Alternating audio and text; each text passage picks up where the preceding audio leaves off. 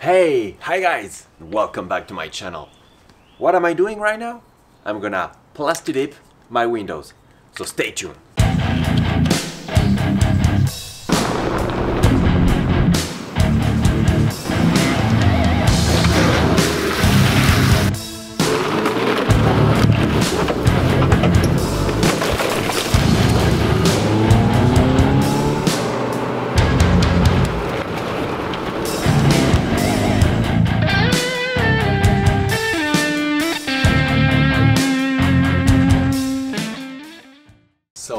I'm gonna cover those windows with some plastic.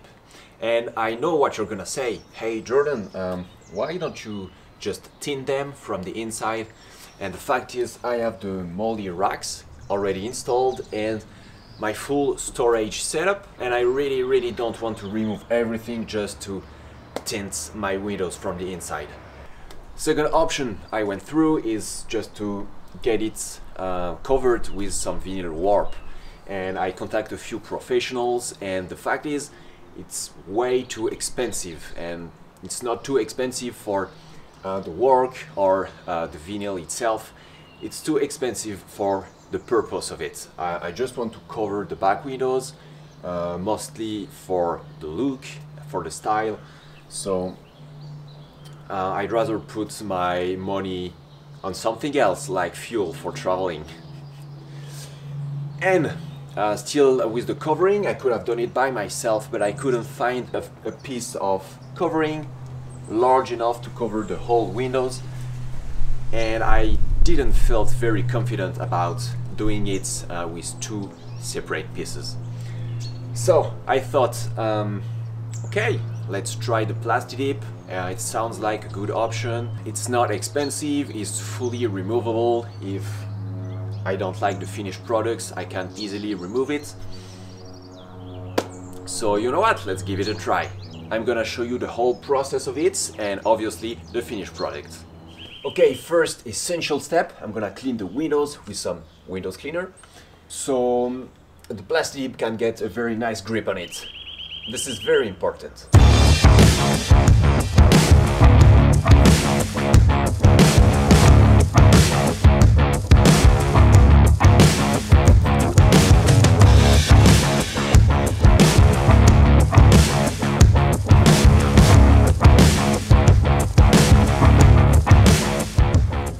Okay, second step is to cover all around the windows so I don't get plasti dip on my really nice desert tan paint.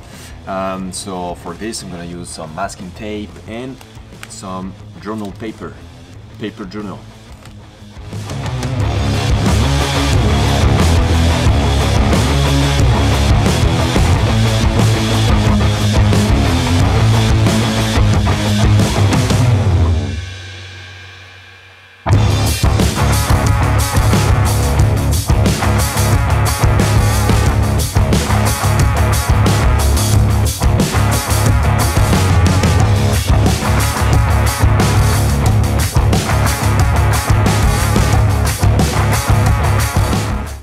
So that was the very long and annoying part of it, but now let's get to the fun part. So this is very experimental, I've never used Plastidip before, and we'll see how it goes. Um, here they said that I should put a first thin layer and then another layer every 30 minutes. So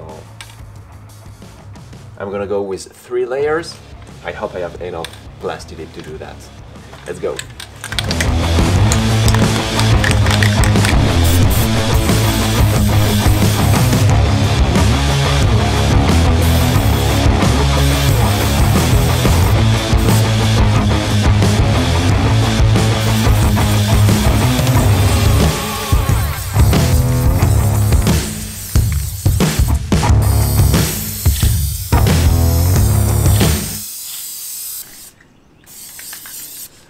Okay, let's call it my first thin layer.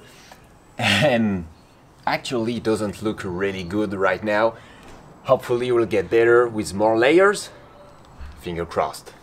It's been 30 minutes now, let's apply the second layer.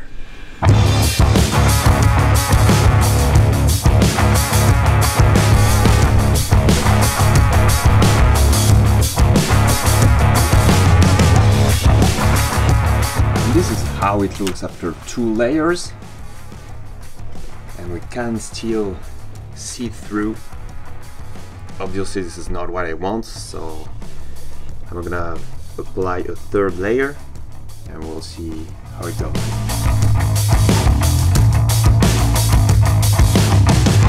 Okay so I just applied a third layer. And it's getting better and better.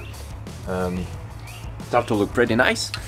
And the good news here I can tell you is that one can of Plastidip can handle three layers on two pretty big windows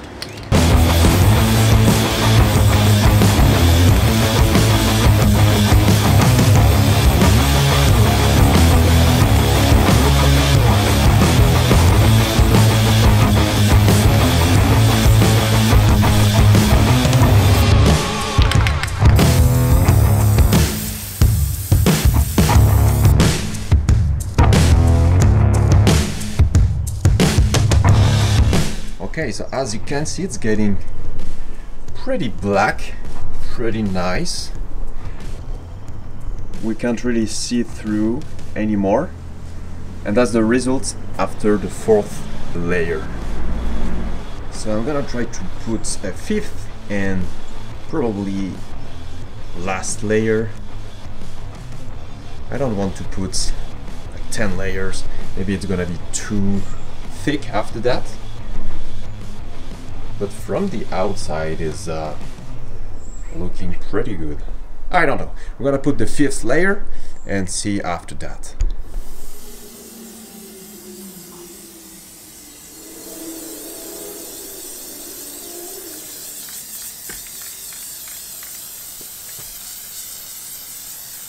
Okay, so this is the result with five layers and I'm actually pretty happy with it. Um, it's now totally covered. We can see the MOLLE racks behind it, so that's a good point. I can see on the other side here. So now I'm gonna remove all of this journal paper and see how it looks. But what I'm gonna do before is to cut the Plastidip between the window and the window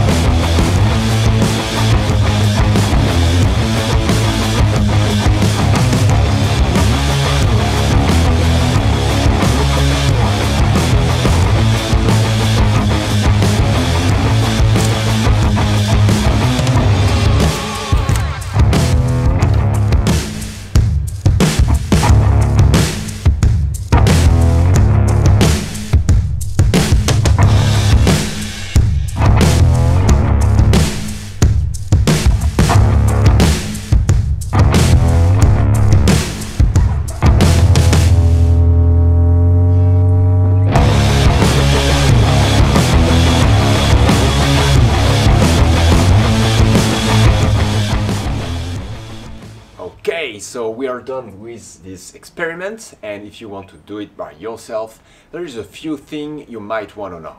The first one, one can of Plastidip is enough for five layers on two big windows like this. Secondly, on a window like this to get a nice cover, you will have to do more than three layers because if you don't, you will see through um, the layer of Plastidip and it's not gonna look cool.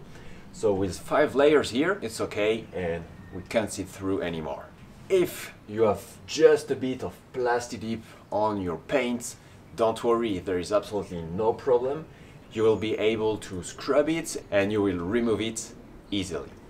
At the end, and after looking from different angles, I love it. Um, it looks pretty cool with a nice texture finish and this is also good for privacy because obviously you can't see anything inside the car. A rookie mistake I've done, and you don't want to do it, is to spray too close to the window because at the end you will have an uneven application and different shade of Plastidip, you know, with more shiny parts than other. And this is not what you want, obviously.